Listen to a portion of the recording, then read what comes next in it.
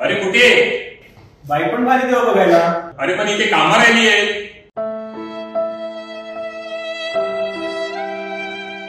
ठीक आहे काम होतच राहतील मी सुद्धा येतो. बाई पण भारी देवा बाई पण भारी र.